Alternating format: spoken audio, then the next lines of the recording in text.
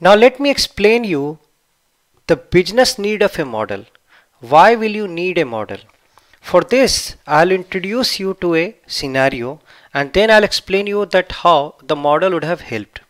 So if you think of, you know, suppose you know there were 100,000 prospects and you send mailer to all of them and only 1000 took up the product. So if you think of out of 100,000 1000 conversion means 1% is the response rate. And if you you know if your cost of acquisition you know like say if if your cost of acquisition was two dollar per mailer then you have spent two hundred thousand dollar. And how much how many people how many product got sold? Only 1000 so for each product you have spent 200 dollar for just mailer correct? Because 200,000 divided by 1000 will give you just 200 dollar per product. So that's a very high cost. And if say the business is quite unhappy your leadership is quite unhappy with such a poor response rate and they call an analyst and they say that you know like this is a very high cost. Can you find a base whereby working on less number of prospect not so much we can still get almost all the responder what you need to understand the scenario that I am talking it's similar to this where you are working on say 20,000 prospect which is just 20% of the total and probably you can get all 900 responder. There is a reason why I am introducing 900 and 20,000. When I am saying 20,000 you are working on part of the population and when you are I am saying 900 you are getting almost all the responder only 100 is left out. I mean if you think of in 100,000 you are getting 100,000 you are getting 1000 responder. Here working on only 20,000 you are getting 900 responder. So if you select such a prospect which has a high chance and you select only this kind of population in the whole you know go for the different different cities and select this kind of prospect you will end up having 900 from each. So essentially 900 into 5 so by sending mailers to again 100,000 selected prospect you will be getting 900 into 5 4500 responders which is far more than this. And the cost will also be far lesser than 200 right? It will be 200 divided by 4 at 4.5 so the advantage is that that you know you worked on part of the population but you get all, got almost all the responder when you are dealing with someone like you know who is probably trying to understand these analytical approach first time he may say that you know why can't you work on only 1000 guys and give me all, all on 1000 who will take up the product? But trust me this kind of scenario does not exist. I mean all said and done the model building is based on propensity. It is telling you that these group of guys have a high chance of responding they have high, very high chance of taking the product in comparison of the base. No way we can find only 1000 guys who will take it. I mean if you think of even if there are several guys who has the same possibility of you know same propensity of taking the product maybe one or two of them didn't have the time to go for to get the product so the scenario where you where someone is saying you give me the all ex exactly 1000 guys who have take up the product i will send mailer to only those guys it does not exist.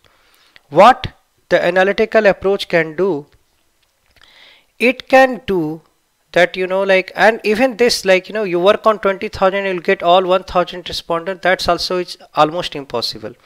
You'll get almost all of them like you know probably you can get up to 950 but there will be some guys who will always be even in those less propensity group because what you need to understand what you are talking that these group have a lesser probability of response. So there's a lesser probability but at even there some guys will respond. Even in this scenario in 20,000 you are getting 900 so if you think of just this prospect in the remaining 80,000 you have 100 responder the response rate has gone down even far lesser than what you are getting here because you took the cream those who were the responders one side and another side you took those are who are non-responders but again there there are some responders among even the less propensity group. So it's a very rare possibility for getting all the responder by working on part of the population. What is that you are trying to do? That you are trying to do that I'll work on a part of the population, a small portion of the population like 20,000 and I will get almost all the responder. Out of 1000 if you can take 900 950 this is what you are trying to achieve.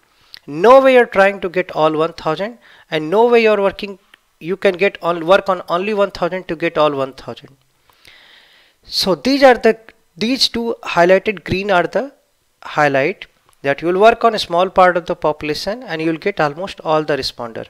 Now let me show you same thing graphically. So the target that you are trying to achieve that I'll get almost all the responder by working on part of the population. So if you start with this kind of population, let's say you have n population size is n and responder are k, what you're trying to do is that you are trying to create a group in such a way so that you know you work on x percent of the population, let's say 20% of the population and you get y percent of the responder, y percent of all the people who are taking the product.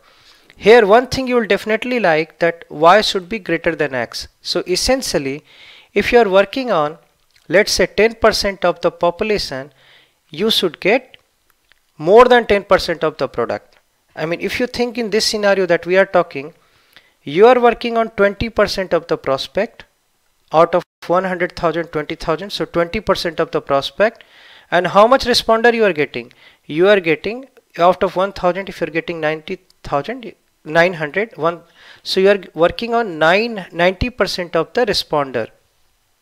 So if in this anatomy you worked on 20 percent of the population you got 90 percent of the responder. That's what is the scenario. And obviously if you are doing this way in the another scenario you will have 1 minus x percent of the population going into another bucket because at the end of the day you are splitting this right? You are splitting into two group. One like 20,000 group with 900 responder, another with 80,000 prospect and 100 responder. So 1 minus x percent here like if 20% you are taking it's 80% and here if 90% of the responder is coming it's 10% will come here. That what that's what will come here. Now if you see I have done a color coding here. Why? Because if this is the green base and if you show this thing in continuity of RGB you know like if G is the base you know the more responder is usually shown as red and the lesser responder is usually shown as blue. By color itself at times you will be able to figure out okay this is the group where it is more responder this is the group where you have less responder. This is like what is being followed in some software packages. But anyway like you know you will be able to see this kind of thing. There are many examples of this kind of thing that you will be able to see. So if green is the benchmark more response rate you will show in red and less response rate you will show in the blue if the software packages support that otherwise anyway you will try to show it in such a way so that you can see it very well.